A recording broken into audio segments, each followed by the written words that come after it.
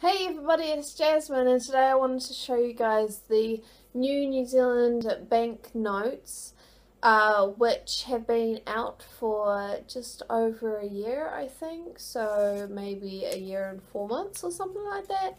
And as far as I know the old money isn't going to stop being circulated, like it's it's still going to be legal tender for $5 or $10 or whatever, um, but they're just introducing the new notes. So it's not like when they changed the the coins in New Zealand and the coin, like the old coins had a set time before they were, you know, completely removed from circulation. And I feel like not everybody has seen them, so I thought it'd be quite nice to just show everybody I don't have the $100 note though, I'm sorry.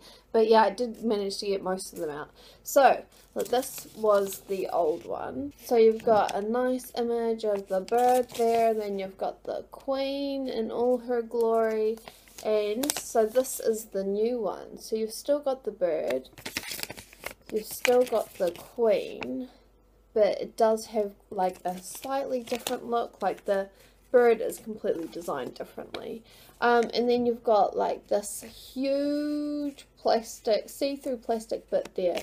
The interesting thing to know about the New Zealand dollars is that it is actually made of plastic. It's like a woven plastic, so it's not um, paper money, which I actually thought that it was.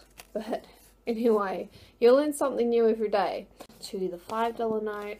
So here you've got the nice penguin, and then you've got Sir Edmund Hillary, the first to climb Mount Everest, New Zealand hero. Let's move on to the $10 note. Look at that. That's so bright and beautiful. Like, the blue is honestly amazing.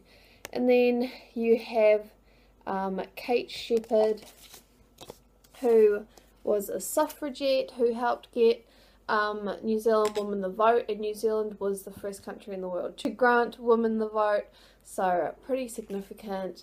Um, I'll just show you the 20 again, just to keep the, the order going. And then um, the last one that I have is the $50 note. And then, so, that there is Sir Apirana Ngata. And the interesting thing about him is that he was the first Maori person to um, get a degree um, in New Zealand. Oh, well, I guess anywhere. Um, and he, so he studied law. But later on, he was also the first person in New Zealand to gain a double degree.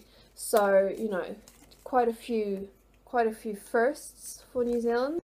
And so this is what the old one looked like. So I reckon that they've actually redesigned his face as well. I just really love how that that mushroom's popping and the bird just looks so gorgeous and beautiful whereas like this other one it's a little bit more muted and they've obviously gone for like a you know a more stippled sort of textural bird but I really love the smoothness of this bird and it just it really makes the colours pop. It's, it's the first time that they've reissued notes since 1999 so it's actually quite a long time like 17 years um, so it's pretty good. New Zealand actually has like a relatively low rate of currency fraud or what would you say um, currency counterfeiting um, so it's not really designed out of a necessity, but more of like a,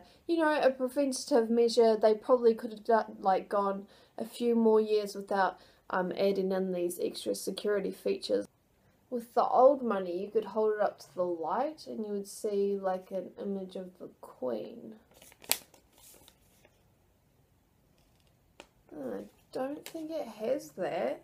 But there is this interesting little fern there, which when you hold it up to the light, it looks see-through, but um, when you look down, it looks holographic. So that's another interesting feature. I actually really like the new banknotes because like, you know, they are brighter and it's like the whole thing that they're going with. There's a website called brightermoney.co.nz which gives you information about the new banknotes.